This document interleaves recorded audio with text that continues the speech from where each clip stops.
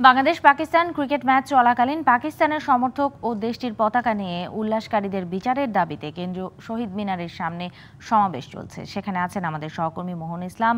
আরও জানতে সরাসরি চলে যাচ্ছি তার কাছে। মোহন, জানাবেন এই সমাবেশে কি দাবি রাখছেন যারা এখানে অবস্থান নিয়েছেন?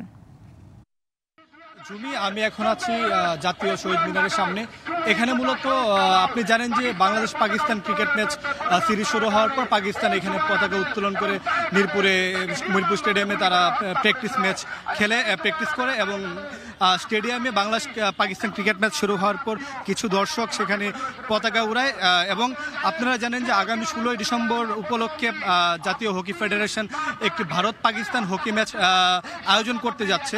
তো এই সবগুলো ব্যাপার নিয়ে মূলত এখানে মুক্তিযুদ্ধ মঞ্চ নামে একটি সংগঠন, তারা মূলত এখানে আন্দোলনটা করছে। এখানে বাংলাদেশের বিশিষ্ট নাগরিক চল্লিশ জন এই আন্দোলনের সাথে সংহতি ঘোষণা করেছেন এবং- এখানে উপস্থিত রয়েছেন বিচার, সাবেক বিচারপতি শামসুদ্দিন চৌধুরী, মানিক, এখানে আছেন অ্যাডভোকেট ব্যারিস্টার তুরিন আফরুজ সহ সম্মানিত নাগরিকবৃন্দ।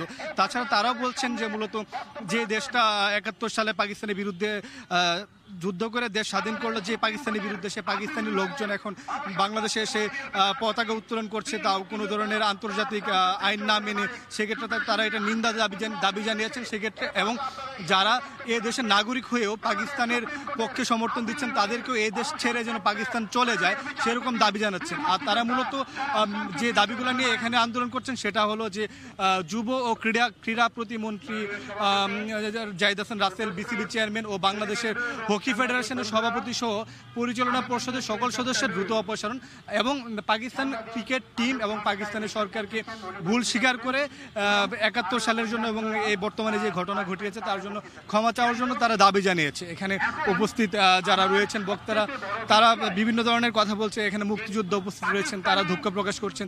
তারা জানাচ্ছেন উনিশশো একাত্তর সালে তারা যুদ্ধ করে দেশ স্বাধীন করেছে, তারা আজ এই স্বাধীনতা সুবর্ণ জয়ন্তীর সময় এসে তাদের দেখতে হচ্ছে দেশের একদল মানুষ যারা পাকিস্তানকে সমর্থন জানাচ্ছে, পাকিস্তানের পতাকা উড়াচ্ছে। বাংলাদেশের মাটিতে তারা মূলত এই জিনিসটা মেনে নিতে পারছে না। তারা দুঃখ জানাচ্ছে, তারা বলছে দেশ দেশ স্বাধীন করেছে কি সেই দিনটা দেখার জন্য। এরকম অনেকগুলো দাবি তারা মূলত এখানে তুলে ধরছে। এখানে এখন বর্তমানে কথা বলছে সাবেক বিচারপতি শামসুদ্দিন চৌধুরী, মানিক তাছাড়া একটু আগে কিছুক্ষণ আগে ব্যারিস্টার তরি তুরিন আফরুজ সহ অনেকে কথা বলে গেছে তারা এই দাবিগুলো সহ মূলত যুব ক্রীড়া প্রতিমন্ত্রী, বিসিবি চেয়ারম্যান যেমনটা বলছিলাম, বাংলাদেশের হেকাফুর হকি ফেডারেশনের চেয়ারম্যান সহ যারা পরিচালনা পরিষদের মেম্বার রয়েছে, তাদের অপসারণটাই মূলত তারা দাবি নিয়ে এখানে জানিয়ে, দাঁড়িয়েছে এবং তারা সেই সেই দাবিগুলো বারবারই তুলে ধরছে যেন বাংলাদেশের মাটিতে যেন বাংলাদেশের মাটিতে পাকিস্তান কখনোই তাদের পতাকা উড়াতে না পারে আর যে পতাকা উত্তোলন করেছে সেই জন্য তারা ক্ষমা চায় এবং তারা যেন সেটার জন্য দুঃখ প্রকাশ করে। এই ছিল জাতীয় শহীদ মিনার থেকে সর্বশেষ আমার কাছে, জুমি। মোহন, আপনাকে ধন্যবাদ।